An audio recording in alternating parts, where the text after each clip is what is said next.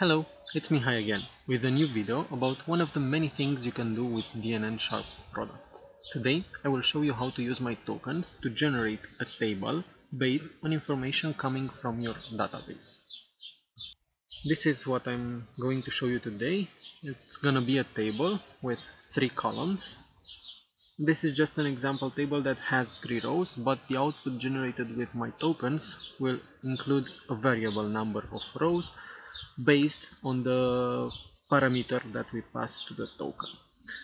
We're going to start by uh, creating one token that pulls the data from the database. I've already added MyTokens on my page. You can also access it from uh, your uh, DNN menu. You can find it here. But for ease, I've placed it on my page already. Let's create the first token. Click on new token. This is the namespace test. I will call it get data from database. This is a database token. Let's click next and let's type in the SQL query. It's gonna be select email first name and last name from table users where let's say username starts with a specific letter where username like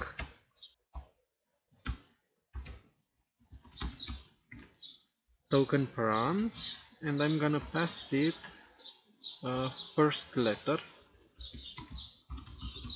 as a parameter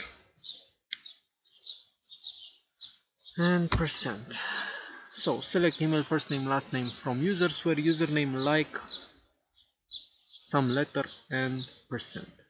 This is the token that will generate our rows.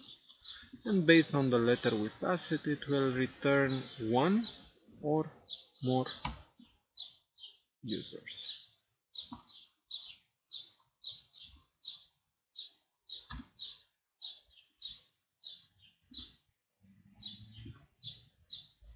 Next and save. That's one token. Now let's create another token that will uh, basically build the table. I already have one token here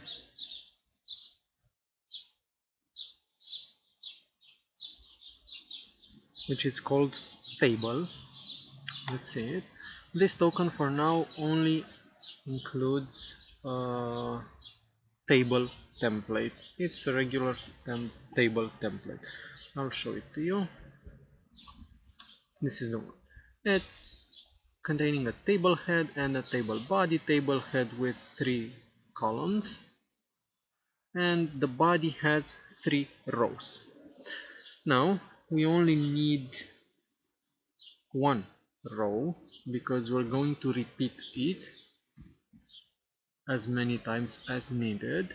And I will call the first column email because that's what I selected from my table. Then first name and last name. And now this row is going to be repeated for each row that we find in our initial token. So for each something do this.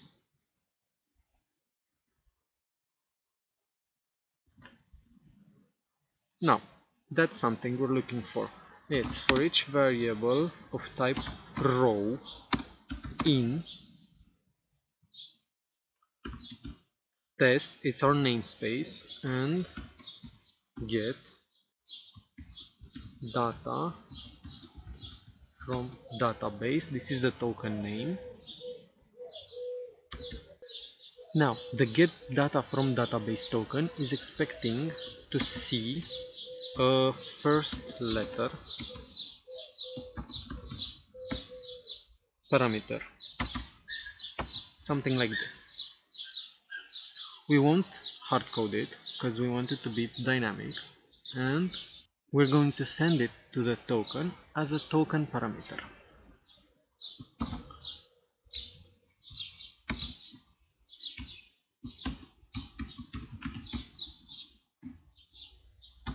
Let's say fl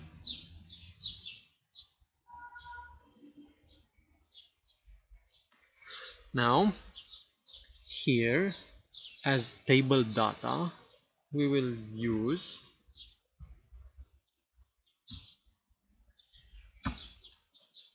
row dot and it's the column name generated by the initial token. So it's gonna be row email row first name and row last name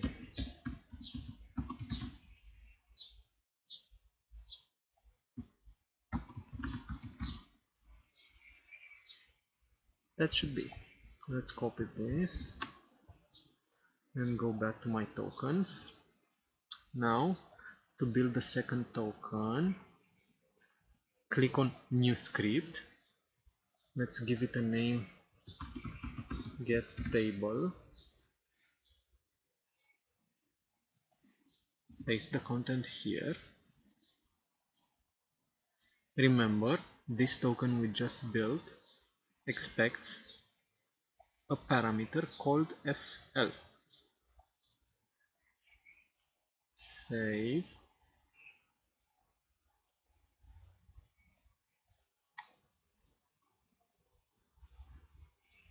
And now let's try them.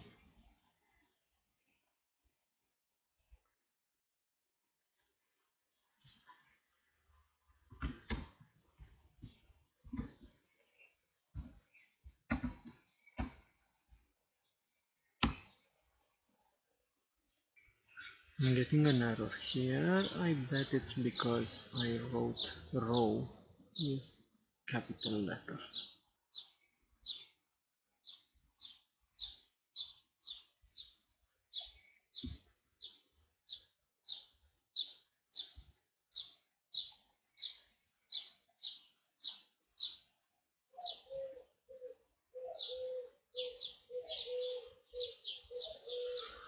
So this is the output table. Let's put it in action form and see how this works.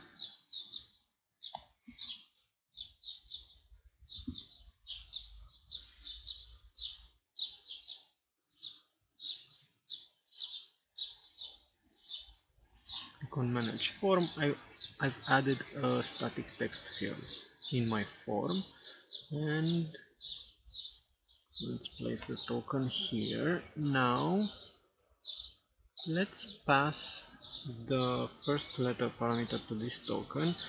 Let's get it from the query string of the page. And you can do that by typing here query string.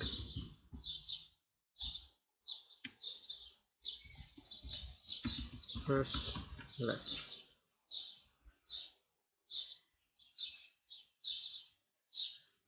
Let's click save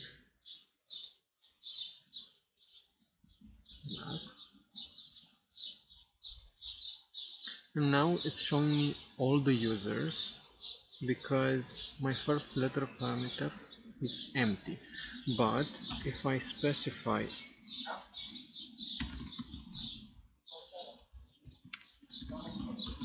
first letter is T we will only get the users that have usernames starting with T. The same for another letter, for H, it's bringing only one username, my host username. And you see how you can generate dynamic tables. Actually, it's a table with dynamic content with my tokens.